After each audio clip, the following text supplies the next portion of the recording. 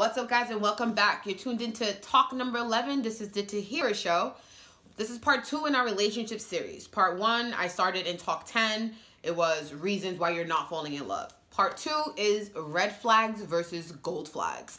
So there's tons of YouTube comment, tons of relationship experts, tons of marriage, whatever, memes, whatever have you, about red flags. About, oh my God, like these are the signs. If you see these, like don't even go, do not enter. What about the gold flags though? And when I say gold flags, I'm using like the golden ticket from like Willy Wonka, right? Because that's where I live all the time. Creative. But like, yeah, where's the gold flags at? So stay tuned to find out my version of red flags versus gold flags. You're tuned in to Tahyira Show on YouTube.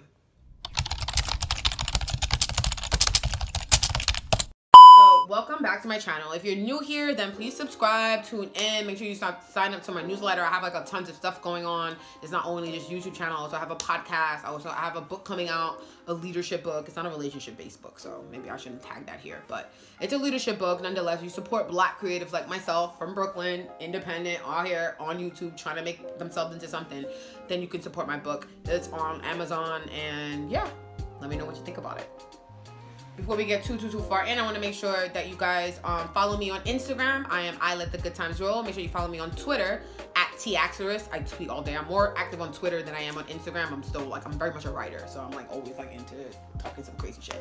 But I'm on Instagram too. You can follow me on Snapchat, Facebook, Tahyira Savanna. Just Google Tahyira Savanna. You'll find me everywhere. Make sure you also check my music, T Slaves.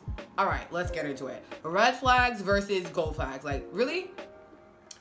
I'm gonna do like a red flag and then I'm like how it could also be a gold flag because like that's how I feel about things right? It's like so much people I feel like are held back because of what is out there what's been said. What these, these YouTubers with all these views millions of views you feel like so many people watch this video maybe like you should be following it. No a lot of people can watch 22 million people can watch the same thing and have a different point of view that you don't know you know? So let's not like get too held up on quantifying information and numbers and just because it looks like this person has a lot of followers or this video got a lot of likes that it has any validity to it. Like everything still applies to us when we're talking about love. If you guys watched my first video that's basically where i stayed and i explained to you guys. There's a lot of reasons why you're not falling in love and it's probably not anything that you think. It's because you're looking outside. There's just stay right here. Same thing where i feel with red flags. So let's get into our first red flag versus gold flag so the first red flag that I read about and I heard about on here all the time is what if you don't like their friends? They say, show me your friends, I'll show you who you are. So when you're getting to know somebody in the beginning stage, you hang out with them, you're at game nights, you're just getting to know them. You don't know anything outside of like you're literally getting to know somebody, right? It's not like maybe your Instagram stalking them, maybe you're you got people following them, whatever people do. I know there's a lot of covert operations in love. I get it. I used to be on that side too. It's like I'm following them. You don't know. Trying itself on it, like you don't know.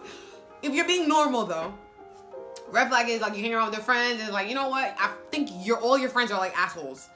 That is seemed as like a red flag. So let's say maybe it's not though. Maybe you came into their life to pull them away from the friends that you don't necessarily like. So let's start with the person that said that they don't like the person's friends you're obviously that's judging number one right because it's like before you can say, for you to say i don't like your friends that means that you don't feel comfortable with saying like well how did you meet that friend like you know you have to go deeper in that person's relationship with every friend that you're talking shit about like well where'd you meet this person well i met this person in college where'd you meet that person well i knew this person since childhood that makes the difference. But if you blanket just money because you're just getting to know them and yeah, you don't have time for all that. You're at work, you're running your business, you're doing whatever. We're all out here, we're all influencers at this point. You don't got time to be doing all that shit because you're doing your own thing. You don't like their friends. But you're their friend. And you like yourself. So yeah, you know, I feel like our generation, millennials, like I said before in the first video, this is really about my age group. You know, I can't really talk too much for people too much older than me or too much younger than me because I don't live there. I can only live here and I'm talking, I recognize there's a lot of young people that are not getting married, dating, having long-term relationships, mar- you know what I mean? Like, I'm not saying not just married, like marrying your life. Like sometimes you don't want to get married. Like I get that. Like not, there's a lot of business reasons why you don't want to get married. You don't want to but you're you're still working together as a unit you know like eventually you want to like spend all this hardworking life that you're doing right now, you want to spend it with that person. So you're working towards that because that's what damn sure I do. Like me and Frankie tolerate each other now so that we could just be lit on the jets and go everywhere and our kids can be lit. Like it's gonna come, but right now it's like all right, not every day is like a holiday. So not liking someone's friend in the initial period of you getting to know them doesn't necessarily have to be a red flag. I think it could be a gold flag. Like I don't think like in my relationships, I mean guys and I mean, it depends also if you're like the girl or if you're like the guy like it just it's a lot deeper than that and there's a lot of relationship experts that are going deeper than where i'm going right now i just want to throw out a lot of stuff that i just don't agree with that i see that's so like popular and i'm like it's stuff that's popular in our generation right now in 2020 and it's like not helping people though so it's like why is it popular you know I don't feel like just because you disagree with your friends that it means that it's it's it's a red flag. I feel like sometimes it could be a gold. Sometimes that person needs an escape from friendship. Like if you're not if you're dating somebody and your friends are like your main life and then you meet somebody that person that you meet is meant to kind of be that oh well there's something more than friendship you know? Like that's what i use my husband here. We met in a friend group. We tried to like date and be friends in that group but eventually it got so deep between me and him people started recognizing it's like oh well y'all left before the rest of us yeah because we had other business to take care of it started friction eventually. And it was also because we weren't like being super just letting everybody in our business. Like we knew our shit was so real that was like kind of like a secret a little bit between me and him.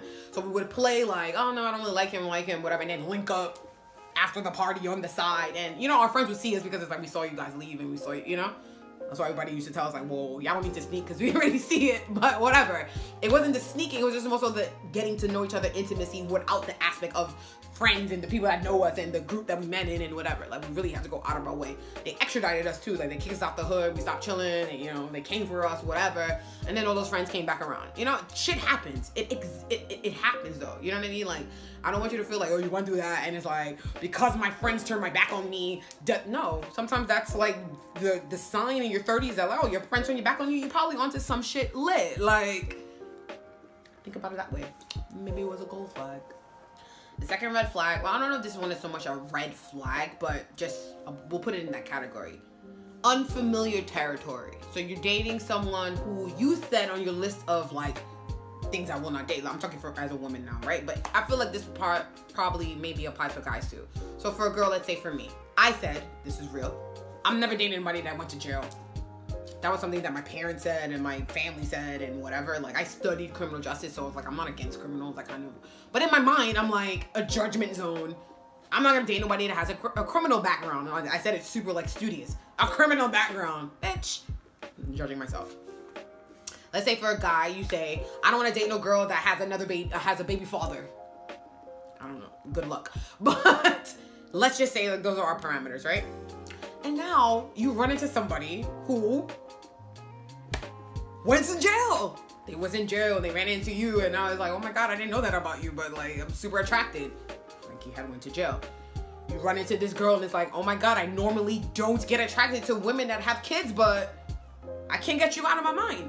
Just because it's unfamiliar, I feel like when things are unfamiliar, mine already like this is outside of just like maybe love, like maybe just like in life, your body, your physiology just goes into like creating reasons as to why you're not meant to be and blah, blah, blah. like that's us taking in societal pressures and stuff which i get. Like you know i study sociology along with criminal justice to kind of get all aspects of things you know?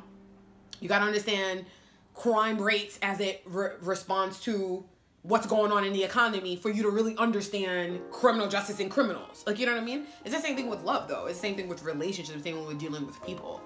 It's just because they were on your not list doesn't mean that you should just like write them off or like constantly because i feel like i've i understand that there's people that are, are attracted to people but they don't fit this plan. They don't fit the the the, the script. Let's say script i'm a writer right? They don't fit the script for what you said or you told your friends or your mom or your dad or your aunt and them and whoever who you would bring home. Because they don't fit that script. You feel like well and it's like some i feel like so many people lose out on like people in that. Like and it goes both ways probably because it's like you know you judge you judging them or whatever it is. You're not really giving the universe and yourself time to just like cultivate this relationship in the real way.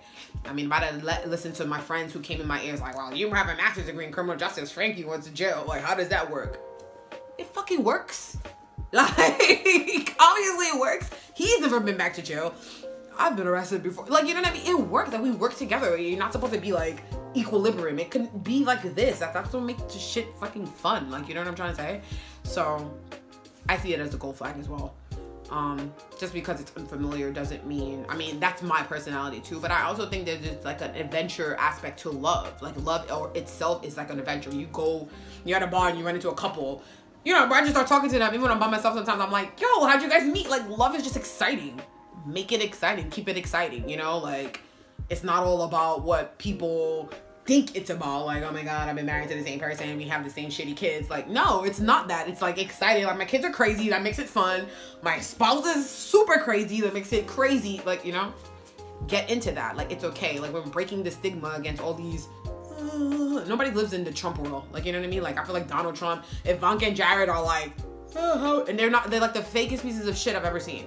We don't want to live in that world anymore. So that means that all of us have to start talking about like how our real families are, how real childhoods are. And there's a lot of us that do that. I've been following a lot of like relationship podcasts specifically black owned and just like whatever. There's a lot of like mixed relationships. People are like black and Spanish and Asian and this. Those are the ones because I'm in an interracial relationship too. So it's also cool to hear like how cultures blend. I don't know. I just find it interesting. But even if you're same sex, like I listen to white people, listen to black people, listen to Indian people, like whatever. You can we can we can learn from love. I think you can learn from everybody's story. Honestly, sometimes I watch Jerry Springer just to hear like, oh my god, like, but they're up here because they're in love, even if I think it's ratchet. All right, so my next red flags. This one video is gonna also I want to give this little thing because I feel like the last video was like way long. This video is gonna be much shorter because it's a series, right? So I want you guys to kind of watch all of this together. So I think the first video maybe has been the longest, and then this video is gonna be shorter, and then maybe the last video will be like shortest. But we'll see. But yeah, so basically what I'm trying to get to is like your love language. Like just because they don't speak your love love, they don't understand your love language right away, or they combat how you feel about things because they don't know you and they challenge you in the way that you view love or your whole what I call your dogma, like this is what I do and this is how I stand, and if you don't get with this, then get left. And obviously, I'm talking for females right now because I don't, I'm not a guy and I can't really speak to this point because I only understand females in that kind of way. Um, I told Frankie to come help me do this video. He doesn't want to talk about relationships. Just because they don't, you perceive them to not understand your love language now, doesn't mean that y'all can't form your own love language together, right? So that was a red flag. Then I'm flipping to a gold flag.